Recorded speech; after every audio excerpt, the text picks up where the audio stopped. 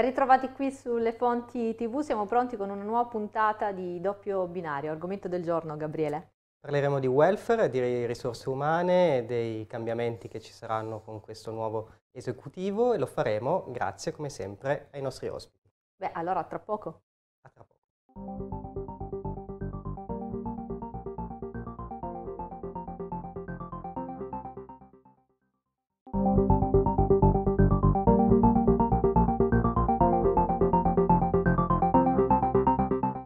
Saluto a tutti gli amici di Doppio Binario. Questa puntata di oggi, come anticipato in apertura, parleremo di un argomento di grande attualità, ovvero del nuovo governo Draghi che si è appena insediato e andremo a vedere insieme ai nostri ospiti sia in collegamento che qui in studio insomma qual è il mercato del lavoro che si presenta, il quadro del mercato del lavoro che si presenta oggi proprio di fronte al governo Draghi. Lo facciamo oggi con il nostro ospite che è qui presente al mio fianco in studio e saluto il professor avvocato Francesco Mendolito, docente di diritto del lavoro e founder dello studio legale Mendolito e Associati. Ben arrivato. Buonasera, grazie. E eh, in collegamento invece saluto il dottor Fabrizio Chines, chairman e CEO di SIFI Group. Ben arrivato tra noi. Buonasera, grazie per l'invito. Bene, io uh, inizierei proprio dalla, dall'avvocato Mendolito. Dunque, come anticipato in apertura, eh, nuovo governo Draghi, se ne parla tantissimo in questi giorni. Qual è lo scenario del mercato del lavoro che si trova di fronte in questo momento il governo Draghi? Eh, per tanti motivi non vorrei stare al posto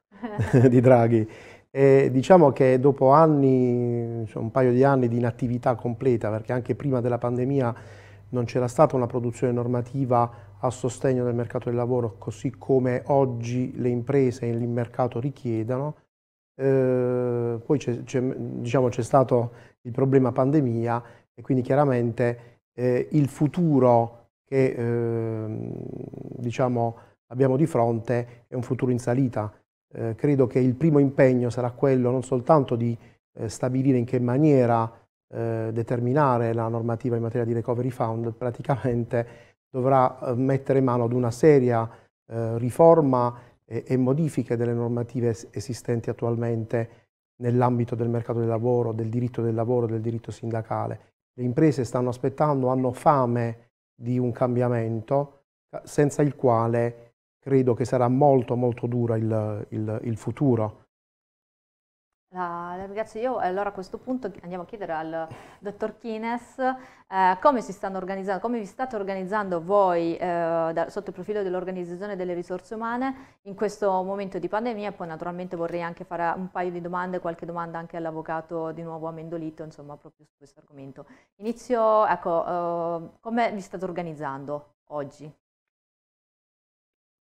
Allora, la nostra è un'azienda del sud, è un'azienda farmaceutica. Uh, lo dico perché queste peculiarità permettono di inquadrare uh, le nostre azioni alla luce dell'attuale contesto. Uh, come noto, le aziende del sud stanno beneficiando di una decontribuzione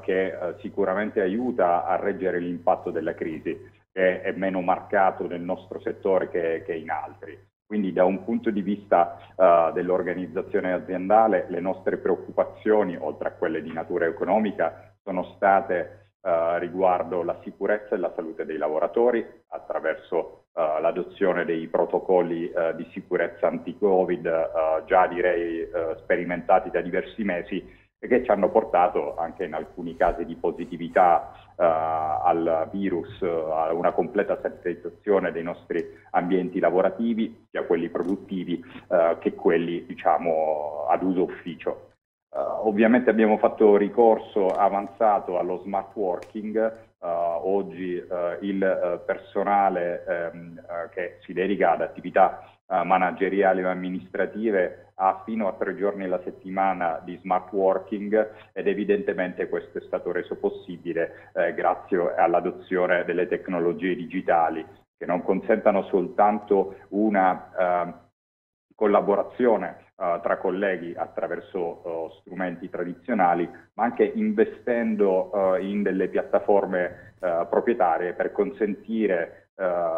la, il lavoro agli informatori scientifici del farmaco che, che, oggi hanno a disposizione uno strumento proprietario che gli permette di svolgere il lavoro in remoto facendo informazione scientifica verso il nostro target di riferimento che sono gli oculisti. Uh, detto questo che riguarda l'organizzazione delle esistenti risorse umane e andando a vedere quello che è il mercato noi abbiamo eh, avuto una situazione abbastanza paradossale, eh, ovvero sia al netto eh, delle temporanee eh, riduzioni dell'orario di lavoro attraverso eh, il ricorso ad una cassa integrazione nei mesi eh, più pesanti della crisi, abbiamo oggi una difficoltà a mantenere un certo, ehm,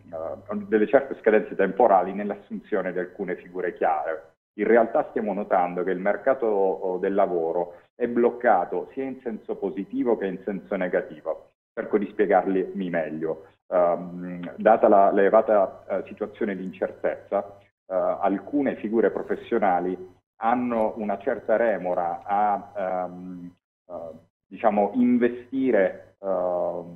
e prendere rischi nel cambiamento magari di città, di aziende o di ruoli e questo in qualche modo ha un po' ingessato il mercato del lavoro. Dall'altro lato, quindi, in senso negativo, eh, percepiamo eh, non soltanto nella nostra popolazione eh, aziendale, ma in generale eh, anche confrontandomi con, uh, con, altri colleghi manager o imprenditori, che effettivamente la scadenza di fine marzo in cui uh, dovrebbe sospendersi Um, eh, scusa, uh, essere, eh, term eh, dovrebbe terminarsi il blocco dei licenziamenti è sicuramente una cosa che ingenera particolare apprensione uh, diciamo nel, nel, nel, mondo del lavoro. Quindi ci sono queste due tendenze che direi un po' contrastanti ma che rendono sicuramente molto sfidante eh, la uh, gestione delle risorse umane e il lavoro delle aziende, anche in funzione di eventuali necessità di riorganizzazione. La, la, ringrazio, molto interessante il suo intervento, poi naturalmente ritornerò da lei per una domanda conclusiva. Eh, ritorno invece, come ho detto prima, all'avvocato Mendolito. Dunque, allora si parla un po' di criticità, quali sono eh, diciamo, le priorità programmatiche che dovrebbe avere questo nuovo governo Draghi, sotto il profilo naturalmente del mondo del lavoro, per aiutare eh, a, a, uscire insomma, fuori da questa crisi un po' il nostro, il nostro Paese. Sì, il, il, dottor Kines appunto mi ha anticipato perché ha parlato appunto sia di positività che di negatività. Eh, il periodo pandemico ha evidenziato innanzitutto la, ehm, eh, la bontà diciamo, dell'uso, l'utilità del, dell'uso anche dello smart working, che però appunto essendo stato normato da una legge del 2017, a mio modo di vedere necessita di un intervento, le aziende nell'aspetto pratico e nell'attuazione pratica dello smart working, sia pure nell'ottica della deregulation operata dai vari decreti eh, che si sono succeduti nel periodo pandemico, hanno evidenziato come è necessario intervenire su alcuni punti. Uno di questi, per esempio, il potere di controllo del lavoratore in smart working e anche poi l'utilizzo diciamo, eh, più, eh, più, attento del, del, diritto alla disconnessione, che è un, diciamo, a cui l'Europa ci tiene molto e comunque diciamo, è importante garantire questo diritto alla disconnessione del lavoratore. Eh, in questo momento le aziende stanno operando eh, da sole attraverso la contrattazione collettiva di secondo livello, la contrattazione collettiva aziendale, per cui stanno mettendo mano diciamo, ad una sorta di restyling dell'istituto eh, ad uso e consumo proprio, diciamo così. Però ecco, sul punto forse non sarebbe male un intervento legislatore. Anche in materia di cassa integrazione guadagni, citata dal dottor Kines, ovviamente è emerso quanto sia necessario oggi intervenire per ulteriormente andare a riorganizzare, rimodulare la disciplina dell'integrazione salariale, soprattutto creando un'univocità diciamo, di intervento per tutte le aziende nel sistema italiano, economico italiano. L'altro problema annoso è quello appunto citato anche questo dal dottor Kines, il, il, eh, lo stop ai licenziamenti, il 31 che comunque rispetto al quale io sono stato, voi lo sapete perché insomma ho avuto modo di dirlo anche in questi studi, diciamo sono stato sempre molto critico su sull'uso che si è fatto abnorme distorto diciamo in un periodo così prolungato del, del, dello stop senza una differenziazione tra aziende e aziende. Perché dico questo? Perché prima della pandemia c'erano aziende che erano già in, in crisi, che avevano, presentavano già degli esuberi e sono state costrette a eh, bloccare eh, molte procedure di mobilità anche in essere, quindi diciamo procedure ex procedure di mobilità, procedure di licenziamento collettivo. Questa cosa fa sì che abbiamo una pentola a pressione che fra un po' esploderà. Il 31 marzo molto probabilmente avremo dei problemi in questo senso di immissione nel mercato di nuovi disoccupati, per cui l'ulteriore eh, sfida per il governo Draghi, a mio modo di vedere, quindi non soltanto porre mano a, a queste modifiche, ulteriori maquillage della normativa, ma credo sia necessario in, intervenire molto nella, nella, in quello che è la tutela anche formativa dei nuovi disoccupati. Molti lavoratori anziani hanno difficoltà a conformarsi alle nuove skills eh, necessarie, dove non soltanto le hard skills, le, ma anche le soft skills prendono sempre più il, il sopravvento. In un mercato in cui eh, esplosa la digitalizzazione, quindi la fase della so cosiddetta quinta rivoluzione industriale, e quindi diciamo anche in quest'ottica il governo Draghi dovrà operare. Eh, dopodiché io spero che il governo Draghi abbandonerà un pochino l'ottica assistenzialistica che il governo Conte ha portato avanti, pensate al reddito di cittadinanza, hanno sempre solo calcato la mano sul reddito di cittadinanza e a mio modo di vedere hanno fatto pochissimo per uno sviluppo economico del Paese e automaticamente quindi per uno sviluppo del lavoro, eh, dell'occupazione e quindi uno sviluppo del mercato del lavoro in generale. Ecco, la, la ringrazio, molto, molto, interessante anche perché voglio dire, come ha accennato appena detto lei, eh, questo sviluppo improvviso, insomma questa digitalizzazione quasi obbligatoria che si è avuto in questo periodo dovuta anche al fatto che eh, tanti dovranno adeguarsi anche in maniera molto repentina e quindi hanno anche una certa anzianità all'interno delle aziende a queste nuove dinamiche non è semplice, oltre esatto. a tutte le problematiche che, che ne sono connesse che tra un po' appunto ci sarà uh, questo mh, problema anche sulla disoccupazione da risolvere. Un'ultimissima domanda invece al dottor Kines, prima di, di, chiudere, quali sono le criticità maggiori che avete affrontato e che state affrontando in questo periodo proprio sotto il profilo appunto dell'organizzazione del personale? Se ci vuole dare una panoramica su quella che è stata la, che è la vostra esperienza. Sì, eh, intanto condivido eh, quanto detto dall'avvocata Mendolito sulla eh, situazione delle aziende e eh, per quanto ci riguarda vorrei sottolineare un paio di aspetti. Eh, l'industria farmaceutica in generale e la nostra azienda ha un elevato tasso di scolarizzazione, quindi l'affrontare le sfide della trasformazione digitale ha diciamo, comportato uh, un elevato ricorso alla formazione, uh, anche e soprattutto in ambito di trasformazione digitale ed è un qualcosa che stiamo portando avanti uh, anche nel, nel 2021. questa è una via che diventerà sempre più Uh, inevitabile uh, sia per uh, le conseguenze della pandemia, ma anche per una maniera diversa di interagire eh, tra i diversi portatori di interesse. e ovviamente io parlo dell'industria farmaceutica, ma la trasformazione digitale è un qualcosa che ha già investito altri settori eh, e noi non siamo certo dei pionieri.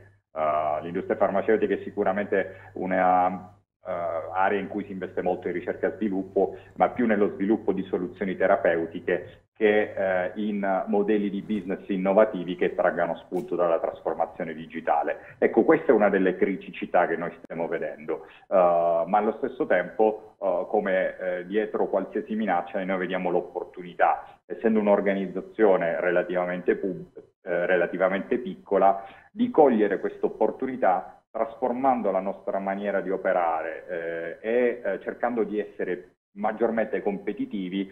in una logica di ehm, focalizzazione sulle esigenze del cliente piuttosto che sulla strategia uh, di brand che ha tradizionalmente caratterizzato uh, il modo di operare dell'industria farmaceutica. E questa, uh, pur essendo un'opportunità, richiede un um, forte investimento nelle soft skills, come è stato detto,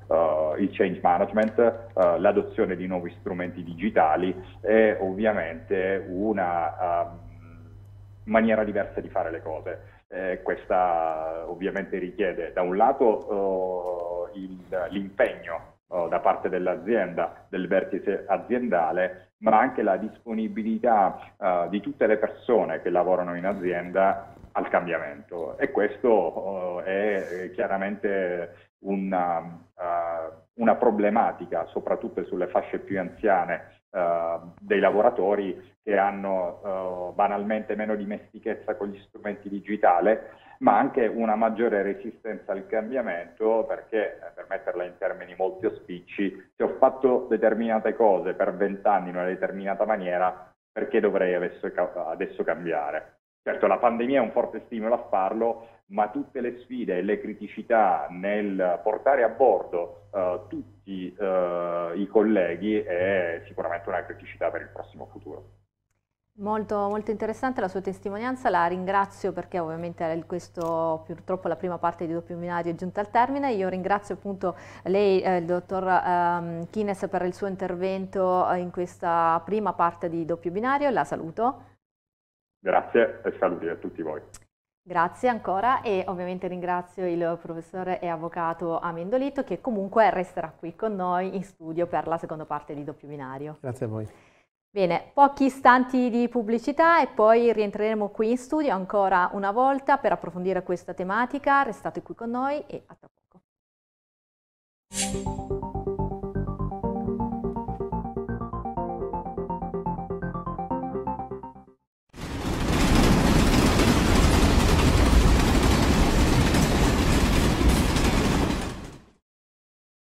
Rieccoci in studio per la seconda parte di Doppio Binario. Continuiamo a parlare delle prossime sfide per il mercato del lavoro che dovrà affrontare gioco forza il governo Draghi. E lo facciamo con i nostri ospiti che vi presento il professor avvocato Francesco Amendolito, founder di Amendolito Associati, ancora qui con noi. Buongiorno e benvenuto. Buonasera. E il dottor Alfredo Lombardi, Labor Relation Director Italy di Takeda Italia. Buongiorno e benvenuto in collegamento. Buongiorno a lei e grazie dell'invito. Ecco, grazie a lei per essere qui con noi anche se in collegamento. Io parto eh, da lei, avvocato Amendolito, e eh, le chiedo, eh, facciamo, tra virgolette, un passo indietro e eh, vediamo quello che ha lasciato il governo Conte di aperto insomma, le prossime sfide che dovrà affrontare il governo Draghi, sempre ovviamente in materia di lavoro, e le chiedo, ha lasciato solo macerie? Ah, diciamo che ha lasciato prevalentemente macerie, forse ha avuto il pregio grazie all'emergenza pandemica e quindi al, al, diciamo alla, alla deregulation che ha portato avanti in materia di smart working, quindi diciamo su quel punto di vista ci ha fatto scoprire un istituto che fino a poco tempo fa eh, diciamo, era mh, poco utilizzato, scarsamente utilizzato dalle aziende, però magari poi di questo ne, ne, parleremo più in là, perché chi mi conosce sa che io sono stato sempre molto critico con il governo Conte, perché ho, letto sempre eh, in tutte le, eh, le norme eh, in materia di mercato del lavoro e di diritto del lavoro questo, questa diciamo, eh, predominanza della parte assistenziale, diciamo, quindi dell'azione no, del governo in un'ottica assistenziale eh, e non invece in un'ottica di, ehm, eh, di, creazione di normativa a sostegno delle imprese. E, e, mm, no, sappiamo tutti che sono, eh, hanno centralizzato diciamo, il loro operato in quello che era il, il, il reddito di cittadinanza. Ehm, nell'ultimo periodo sono emerse poi tutte le falle di un sistema che necessitava invece di un intervento eh, di riforma o di modifica comunque della norma stessa. In primis eh, penso alla, alla, cassa integrazione guadagni eh, che è stata sempre prevista dal nostro legislatore, quindi in questo senso non ha colpa solo il governo Conte, per determinate aziende, no? quindi aziende industriali, aziende commerciali con più di 50 dipendenti avendo nella fase pandemica allargato l'utilizzo della cassa integrazione a tutte le aziende che necessitavano di una sospensione anche forzata in relazione al lockdown, sono, sono, emerse poi tutte le falle del sistema, un sistema eh, che chiaramente eh, necessita, a mio modo di vedere, quindi in quest'ottica il governo Draghi spero, Draghi, spero che eh, lo farà, eh, di, una, di, un unicum, cioè quindi una normativa unica per tutti, quasi un testo unico in materia di ammortizzatori sociali. E, e poi l'altra parte rispetto alla quale io sono stato sempre critico eh, e penso appunto, l'ho detto nella prima parte di questa trasmissione, lo stop ai licenziamenti, ehm, che è stato fatto eh, anche qui in un'ottica assistenzialistica, cioè è stato accollato eh, il problema sociale della pandemia, il costo sociale agli imprenditori, cioè caro imprenditore, ci pensi tu, il lavoratore non lo puoi licenziare. E perché dico questo? Perché posso capire aziende che erano in bonus che si sono ritrovate a dover gestire la fase pandemica quindi chiaramente si è creato uno stop ai licenziamenti che però a mio modo di vedere doveva essere molto temporaneo, non allungato quasi a un anno come è stato fatto. Però non possiamo dimenticare, anche questo mi ripeto, ma è, meglio, è il caso di rilevarlo, che molte aziende prima della, della pandemia, prima del Covid, si ritrovavano in un periodo di crisi, in un periodo in cui comunque avendo in, in, in azienda un, un, un, una serie di esuberi di personale, necessitavano di, di interventi quali appunto procedure di licenziamenti collettivi, Oggi noi abbiamo aziende che sono state costrette ad accollarsi questo costo sociale, il 31 marzo avremo una pentola a pressione no? Che potrà scoppiare con tutti gli effetti che sappiamo nel mercato del lavoro, perché chiaramente aumenterà come stanno aumentando i dati e, e appunto la disoccupazione. Quindi diciamo questi sono aspetti critici che il governo avrebbe al di là della pandemia potuto eh, gestire diversamente anche prima, dico, dico io, no? cioè il governo Conte non è durato un anno di pandemia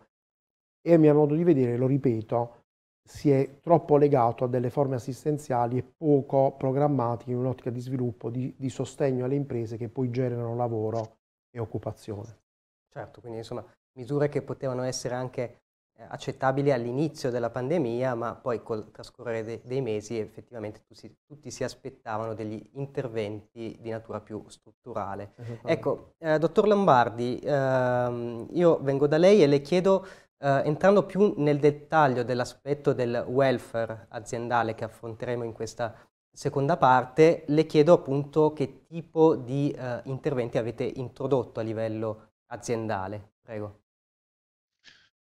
Sì, va bene. Mm, innanzitutto grazie all'avvocato perché sicuramente ha, ha fatto un quadro corretto di quella che è la situazione che noi stiamo vivendo e quindi anche qui eh, è ovvio che, eh, visto che lei ha citato il tema del welfare, molte aziende si sono concentrate su questo tema perché sicuramente eh, eh è stato menzionato prima lo smart working, è chiaro che noi ora lo chiamiamo smart working, ma in effetti non è il vero smart working, perché è ovvio che un lavoro da casa in confinamento è, è, tutto, ma non certo come è nato lo smart working, perché lo smart working, come noi sappiamo, nasceva come flessibilità. Oggi mi è più comodo lavorare da un'altra località che non deve essere casa, può essere anche Starbucks, come vediamo anche nei film americani. Eh, oggi invece mi è più comodo essere in ufficio, devo fare delle cose che faccio meglio in ufficio, quindi vado in ufficio. L'obiettivo chiaramente era conciliare grande flessibilità eh, per il lavoro con eh, vantaggio per, per il lavoratore. Oggi è ovvio che essendo una forzatura nello stare a casa, come vedete anche io lo sono, eh, ha delle connotazioni diverse ed è qui che si sono collegate tantissime iniziative di, di analisi del welfare perché il benessere, il well-being del dipendente è un tema che in questo momento ci è particolarmente caro perché eh, sicuramente avere un'organizzazione che per la stragrande maggior parte del tempo eh, è costretta a lavorare da, da remoto e da casa sicuramente sta creando dei problemi. Su questo noi come azienda a livello mondo abbiamo fatto un sondaggio fra tutti i 50.000 dipendenti dell'azienda per cercare di capire qual era il loro vissuto e come, come lo stavano eh, gestendo e siamo andati ad avere delle conferme, chiaramente in termini anche di malessere, perché non stiamo a marzo-aprile dell'anno scorso, siamo quasi a un anno data da quando tutto questo è iniziato con alti e bassi e quindi sicuramente il livello di stanchezza si sta, si sta facendo sentire. Lavorare tutti in remoto ha reso più complessi alcuni passaggi e quindi vi era una grande preoccupazione in tema di carichi di lavoro perché a parte la Francia che in questo è particolarmente eh, spinta eh, nel incitare le aziende a non eh, lavorare fuori determinati orari. Voi sapete che anche in Francia vi è, vi è la disconnessione quasi forzata in determinati momenti. Molti dei nostri colleghi ci raccontavano io accendo il computer la mattina dopo colazione lo spengo la sera praticamente a cena. Tutto questo chiaramente ci sta portando a fare delle valutazioni su che cosa andare a rivedere per evitare che diventi un collegamento continuo. Tra le tante cose, per esempio, con grande successo abbiamo messo a disposizione dei dipendenti anche un supporto psicologico. Devo ammettere all'inizio eh, quasi timidamente, ci sembrava un po' una cosa strana il doverlo fare, poi alla fine abbiamo scoperto sempre nel rispetto assoluto della,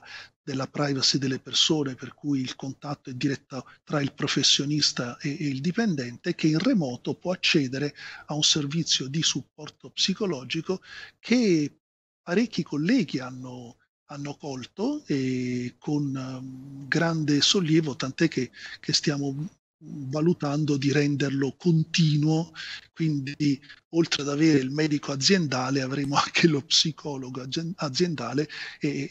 con tutte queste iniziative e altre che stiamo cercando di mettere in piedi vorremmo cercare di eh,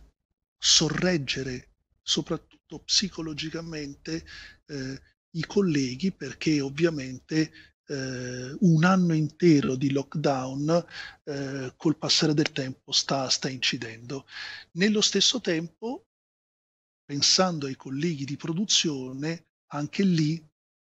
la fatica psicologica di dover fare un lavoro che ha una componente manuale che quindi non ti consente lo smart working, ma nello stesso tempo adottando particolari attenzioni, particolari cautele, il turno non deve essere eh, più affollato di un certo numero di persone, sicuramente anche questo con il passare del tempo eh, sta, sta, creando un, dei disagi e abbiamo messo insieme dei gruppi di lavoro proprio per coinvolgere dal basso le persone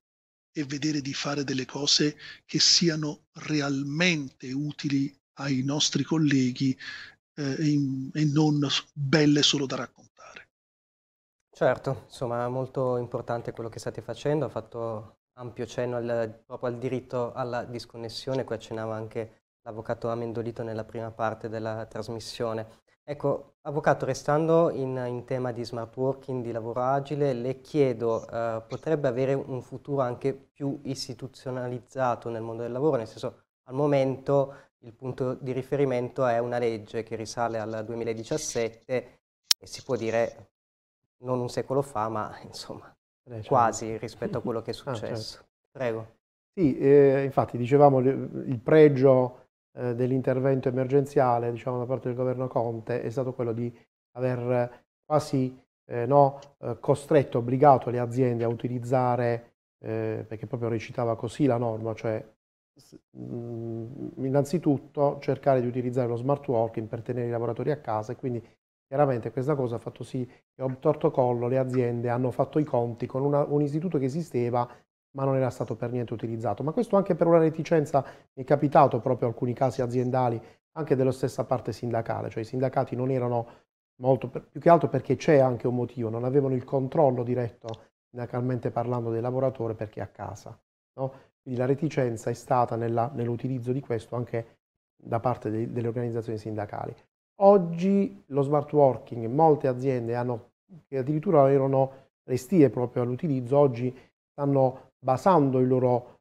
progetto futuro anche sull'utilizzo eh, massiccio dello smart working, però è emerso anche proprio dal, nelle, nelle, singole organizzazioni aziendali eh, la necessità, è emersa la necessità di eh, di, di, un di, di, una modifica, del, di alcune modifiche rispetto all'asset istituzionale normativo del, dello smart working. Uno di questi appunto Io, io, dicevo nella prima parte, mi sono soffermato sulla, sul, sul, controllo, sul, potere di controllo datoriale che eh, deve essere comunque regolamentato ed è necessario non perché c'è mm, no, mm, eh, la voglia dell'imprenditore di guardare, controllare, ma mh, mm, per evitare la, la, la, diciamo, il, il, divieto diciamo, di, incorre, di, incappare nel divieto eh, statutario dello Statuto dei lavoratori, diciamo, del controllo dell'attività lavorativa,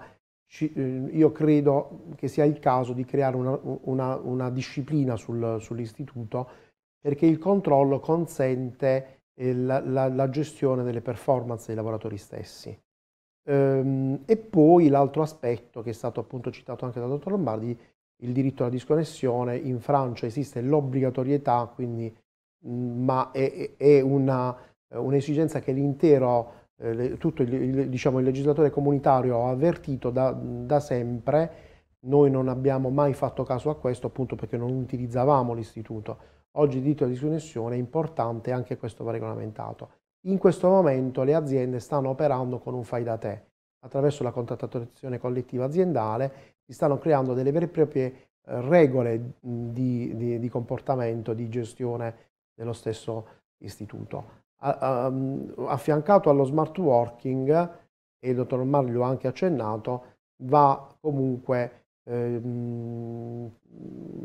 diciamo, ci si deve dare mh, anche da fare nell'ottica del welfare aziendale, cioè questo bilanciamento, del, no, questa esigenza di bilanciare eh, il lavoro con le esigenze familiari, le esigenze di vita del lavoratore diventano sempre più importanti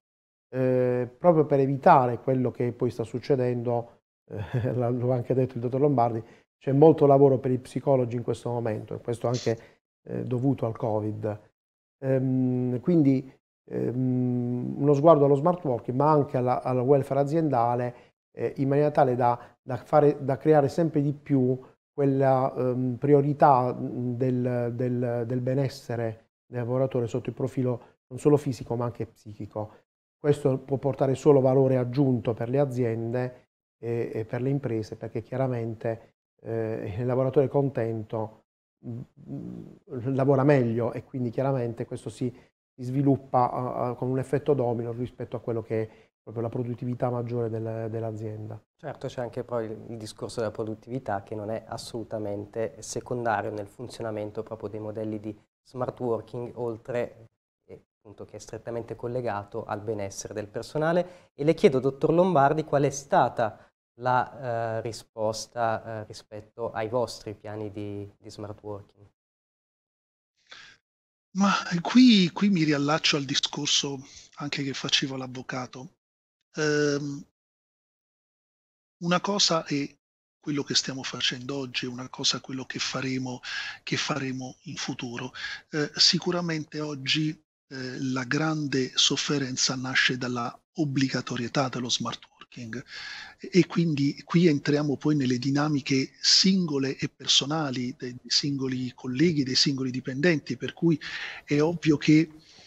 lo smart working può essere un grandissimo vantaggio per una persona che per esempio stando a casa può accudire determinate situazioni, può essere una situazione invece molto stressante per una coppia, entrambi lavorano, entrambi smart working, due figli adolescenti, entrambi in DAD, in didattica a distanza, voi comprendete come sicuramente ognuna di quelle persone non vedrà l'ora di tornare in ufficio o a scuola perché vivono ognuno in una stanza cercando di sopraffarsi nel wifi di casa. Quindi anche qui noi siamo un'azienda che aveva già istituito lo smart working prima che ehm, vivessimo l'esperienza del Covid, quindi sicuramente su questo eravamo già un passettino avanti. È ovvio che in questa situazione abbiamo portato lo smart working alle, all'estremo del, del suo utilizzo. Io sono convinto che una volta che ci saremo stabilizzati e si tornerà a una situazione ehm, eh, diciamo di normalità, anche qui lo smart working ritornerà a una condizione di normalità, per cui ci saranno persone, noi per esempio abbiamo eh, previsto la possibilità di fare due giorni di smart working a settimana, ci saranno persone che li faranno tutti e due i giorni ogni settimana e ci saranno persone eh, che invece non ne faranno nemmeno uno. Anche qui io sono convinto che alla fine del, del dell'emergenza ci saranno colleghi che potremo tornare in ufficio liberamente eh, perché non avremo più il vincolo del numero limitato di persone eh, in accesso, si fionderanno in ufficio e altri colleghi ai quali scherzosamente dovremmo mandare la forza pubblica per farli uscire, togliersi la tuta e rivestirsi in un, in un, abbigliamento consono al lavoro. Anche qui chiaramente il, il bello come sempre è, è, la libertà ed è qui che dovremmo rimpadronirci quello che, che, eh, quello che sta pesando ed è il motivo per il quale sta avendo tanto successo il, eh, il supporto psicologico è la forzatura. La forzatura, l'essere eh, reclusi a casa, come dicevo prima, smart working, può voler dire, anzi, può voler dire stare anche all'aria aperta, eh, essere connessi con il telefonino, eh, approfittare di, di, una situazione in cui mi trovavo lì e mi sono messo a lavorare. Questo è il concetto dello smart working e quindi anche qui non vediamo l'ora, perché questo vorrà dire che siamo usciti da questa situazione emergenziale, di poter tornare a occuparci del vero smart working, eh, del vero well-being, dove ovviamente faremo tesoro dell'esperienza che abbiamo vissuto. Ci sono delle cose dove abbiamo toccato con mano qual è il vero interesse delle persone eh, ci sono altre cose che butteremo alle ortiche eh, velocemente sperando di non dovercene più occupare. Certo, e quello che speriamo tutti è anche che questo nuovo governo colga l'occasione insomma, per anticipare i tempi e il, insomma, quello che tutti ci, augur- ci auguriamo, il, il ritorno alla normalità. Diceva l'avvocato, spero che il nuovo governo, se vedrà la luce, sì. eh, esca da una logica di emergenza, ma, ma inizi a guardare lontano, perché altrimenti se domani l'emergenza finisse, immagino dom- un film di fantascienza, domani non c'è più niente. E, ma noi non abbiamo preparato niente per il domani non c'è più niente. E certe volte ti viene la sensazione quasi che si speri che questa cosa vada avanti perché ormai ci siamo abituati a gestire questa situazione che rigestire la normalità eh, potrebbe anche suscitare preoccupazione, ma la vera preoccupazione che ho è, è un po' come dire a una persona eh, guarda, devi eh, trattenere il respiro per un minuto. Peccato che quello ti risponde, guarda che io ce la faccio per 30 secondi, dopo 30 secondi non ce la faccio più, ma no, non importa, tu mantieni un minuto e andrà tutto bene. Il rischio è che quando scade il minuto quel tizio sia morto per esatto, asfissia. Esatto. Questa è un po' la preoccupazione dopo un anno eh, di, di emergenza continua. Assolutamente, la prima prova sarà chiaramente il blocco dei licenziamenti. Bene, io vi, vi ringrazio per essere stati con noi, andrei avanti chiaramente ancora per parecchio tempo, ma purtroppo non ne abbiamo più. Ringrazio l'avvocato Francesco Mendolito. Grazie a voi. Grazie. Il dottor Alfredo Lombardi, da Chiede Italia. Grazie. Grazie mille, a presto. Grazie anche ai nostri telespettatori e appuntamento alla prossima puntata di Doppio Binario.